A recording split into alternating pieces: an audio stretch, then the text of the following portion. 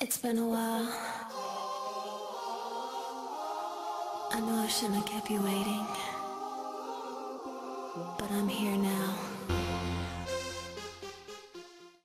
What's that? A hat? Crazy, funky, junky hat. Upset, hair unsightly, trying to look like Keira Knightley. We've been there, we've done that. We see right through your funky hat.